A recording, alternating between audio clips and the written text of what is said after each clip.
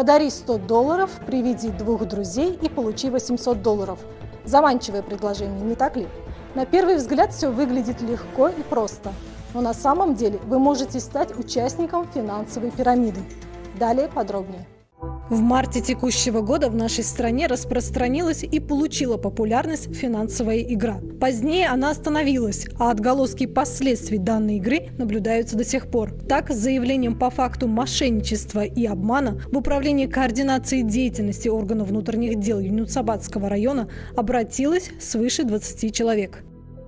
Shu instagramda kuzatib o'tirardim В Инстаграме я наблюдала за страницей блогера. Она рассказала об одной игре, где можно заработать деньги, и при этом никто не рискует. По условиям игры я должна была передать 100 долларов, привести двух людей, которые также вложат по 100 долларов, а потом спустя несколько дней я получу 800 долларов. Я поверила и тоже решила попробовать. Передала 1 миллион 140 тысяч. Но ни обещанных денег, ни вложенных я так не получила.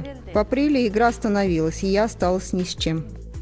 Как мы видим, легкие деньги – это всегда риск. Желавшие быстро и легко приумножить свой доход не получили обещанного. Потому как игра, которая требует плату за участие и обещает за короткий срок разбогатеть за счет привлечения других участников, является финансовой пирамидой. Выявить финансовую пирамиду можно, если обратить внимание на следующие факторы. Отсутствие у организации лицензии на деятельность и то, что выплаты производятся не из прибыли, а из привлеченных средств новых участников. Fevral oyida e, man ham gap o'yiniga qo'shilganman instagram sahifasi orqali reklamadan В конце февраля я присоединилась к этой игре. Играла. Когда сайт заблокировали, игра остановилась. Мы ждали пару недель. Новые люди не приходили. Потом мы решили сделать рекламу через блогера. Заплатили ей 300 долларов.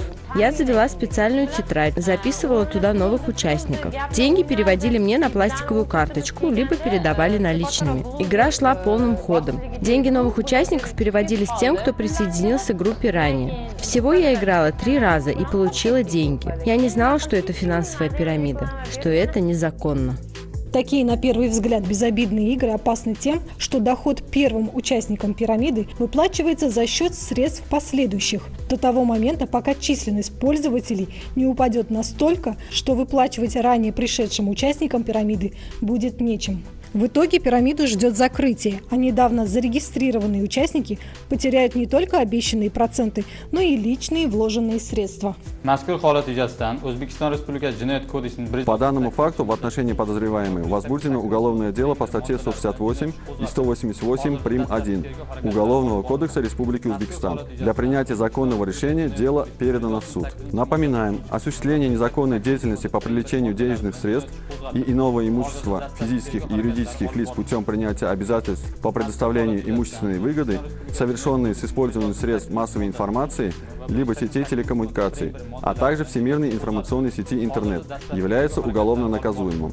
В свою очередь, ГУВД Ташкента рекомендует не верить сомнительным обещаниям неизвестных вам лиц, связанных с вложением денежных средств и получением хорошей прибыли. Не попадайте в ловушку тех, кто представляет подобные финансовые схемы в различных социальных сетях и мессенджерах как простую игру с выгодой.